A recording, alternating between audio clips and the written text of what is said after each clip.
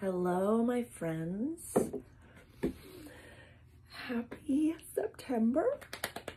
I couldn't be more fucking jazzed about this program and about the people that I've been connecting with, the beings and soul beings and light beings. I'm just, thank you.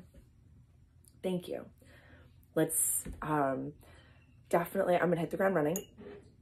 Let's just make sure that, you know, this is, you know, going to be a weekly video, it looks like, just because I like to put a lot of oomph in them. But make sure that those cicadas, they're fucking, fucking all over the place. It's pretty cool. It's pretty cool. It's one of my favorite sounds in the whole wide world. And um, just end of summertime. It's just so gorgeous. But so let's look at, make sure that you do a debrief with yourself for the end of August and do a monthly review and just say, you know, just usually I'll do two or three journal prompts. What did I do well? What do I want to improve upon next month? And what, like, you can do a third one of, you know, what am I leaving behind? Or kind of the third one can be depending on the first two. If the first two, like, if number one, what did I do well? If you have a huge list and then you you know, only have a few things that you want to improve upon, just be like, okay, what am I completely letting go of this month and moving forward that it's just not even a part of my life anymore? Like cut ties to that reality, cut ties to that version of yourself. But if it's the other way around where you only really feel like you smashed it a little bit and that the rest of the list is like, fuck, it was a transitional month, I want to improve, blah, blah, blah, just really highlight, I did this so well and it's now completely like it's it's integrated. It's incorporated into my systems into my being. So definitely like always like do it like a little compliment sandwich with yourself. Like good not so good how am i going to be better moving forward? So that's kind of like the generalness of it. Good what do i want to improve and how am i incorporating that moving forward? Always stay forward thinking on this one.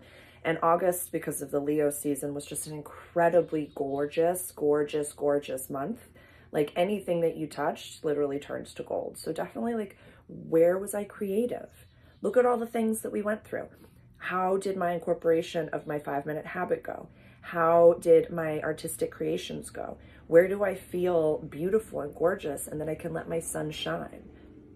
So definitely close out the month with reverence and with excitement. Um, I'll make sure to pull a dragon for us for September. I feel like yeah, I feel like we're to need a dragon. So I'll pull, let me take a note of that.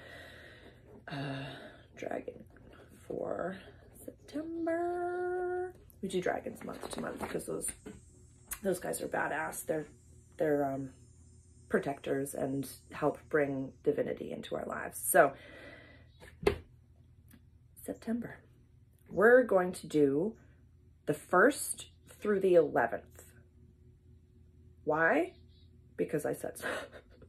Literally, that's what I wrote down. I was like, 1 to the 11th. Why? Because it's like we're starting in the middle of the month, and I love to start the weeks, as we know, on Mondays. So we're going to do the 1st to the 11th. So we have some really cool transits happening during that time. We have our new moon. That's going to be on the 7th. That's at 14 degrees of Virgo. So I'll leave the link for um, where you can download your free birth chart um, from AstroCharts. So I'll leave that link there. Look at where this falls in your chart. As this is new moons, as we know, we're planting seeds, we're manifesting, we're making magic, we're asking the universe to provide us. We're planting seeds so that will sprout into manifestations later on. So look at where Virgo falls in your chart. Um, I'll explain a little bit through my lens this is falling in my right smack dab in the middle of my 10th house of career and legacy and the mark that I want to leave behind professionally in the world. So I'm going to be really looking to manifest, and I have been building up to this. I mean, you've been following on this journey, so you know that I've really been putting in a lot of the foundation for this and really looking towards, okay, what really stuck, what felt good, what do I want to keep building on, and what feels inherent, what feels joy filled, where do I feel powerful. That's something that we can take into Virgo season from Leo season is where did we feel powerful, like that badass lion? Um, because Virgo is all about usefulness and making like making something that's of use. Virgos want to be a part of the greater system and make it clean, have a very competent list to go with it and be like they can almost borderline on like the negative side of perfectionism, but they want to do it right. So look at where Virgo falls in your chart because my 11th house, it, my 10th house starts at Leo and then Virgo is a part of it, but my 11th house starts in Virgo. So for me, my place in the greater community is always, I, I know where I fit, I know where you fit, I know where everybody fits. And it's like, that's just the Virgo in, the Virgo in my chart. So um, what else can we really look at? So where does this 14 degrees of Virgo fall in your chart? What house does that fall in? Because just because for me, it's in my house of career, doesn't mean that you're going to be working towards things that are career based. I have another client of mine that this falls in their fourth house of house and home, and that they're really going to be where can I find order in my home? Funnily enough, they just purchased a home not even a few weeks ago, like signed the papers. So it's pretty freaking cool that now they get to make their lists on moving and organizing and just like starting over anew and fresh. So those manifestations for myself and this client are going to be so different. Same thing for you. If you're having trouble, reach out directly. If you download your birth chart and you have no idea what you're doing with it, reach out directly and we can book a session and we can go over 101 what the houses are, all of those different things. Like, really, we can work around your budget and make sure that this works. I want to be helpful to you so at least you have the foundational tools to know what's going on in these conversations. I don't want you to feel in any way like this is outside of your realm of capacity because it's not. I promise you it's not. This is applicable stuff that we can utilize in our everyday lives. This is plain as the nose on my face. I've been watching a lot of um, The Wizard of Oz, so those are my references there. Um, what is the other trans... I was cut off just there. My apologies. Technology is not my strong suit. Um, on the 10th, Venus is going into Scorpio. So watch out. Our planet of yin and sexuality and sensuality and loveliness and the way that we feel good and like love and understand love is going into Scorpio, which are the sexiest badass bitches in the fucking zodiac. So just look out. We're going to be sassy. We're going to be feeling great. We're going to be feeling sexual, but a little bit like mysterious. Mysterious as fuck. This is a swearing video. Must be Virgo season. but really, so look at where, um, actually, that's another thing that you could definitely be looking at is look at where Venus or look at where Scorpio falls in your chart because that's where Venus is going to be kind of transiting.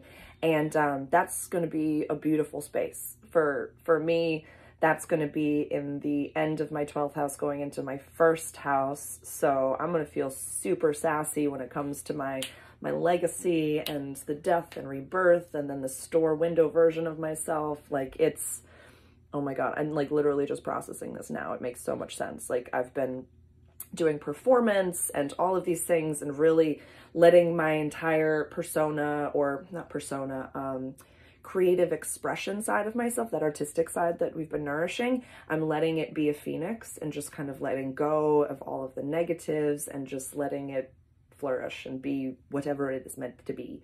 So look at where Scorpio is in your chart because that's going to be a fun, beautiful space. And um, if there are ever any questions, reach out directly because I never want to feel like anyone is left out in these things. So what were my journal prompts that I wanted to do?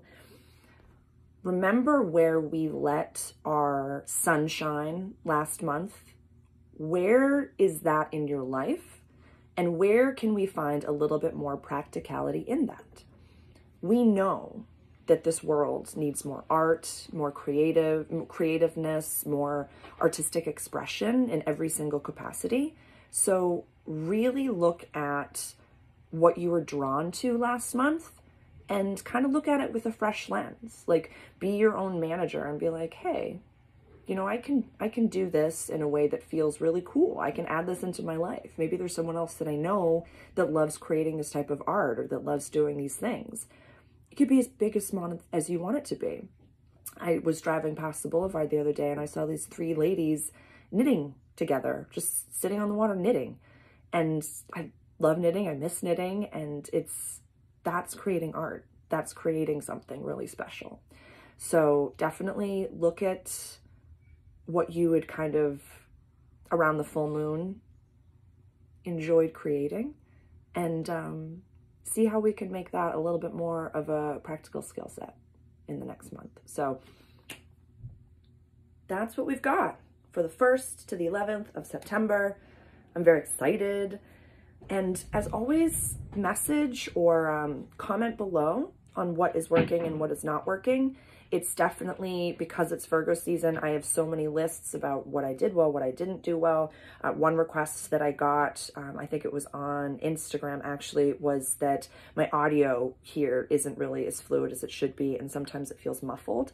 My sincerest apologies. I'm actually getting new microphone systems and all that jazz. So it's going to be an exciting month of kind of learning and understanding technology in a new way. So I'm excited, feel like I'm upgrading and really stepping into my power.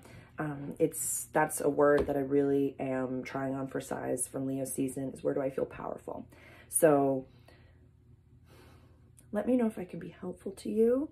Remember that Virgo is a Mercury ruled sign.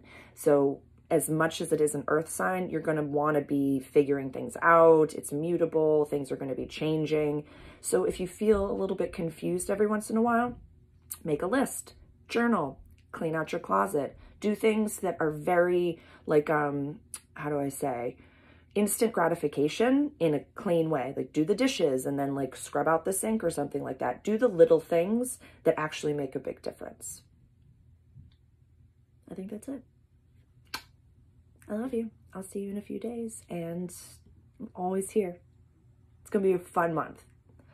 Got lots of retrogrades going on. We've got lots of changes and shifts. So I'm excited to be here with you. Bye-bye.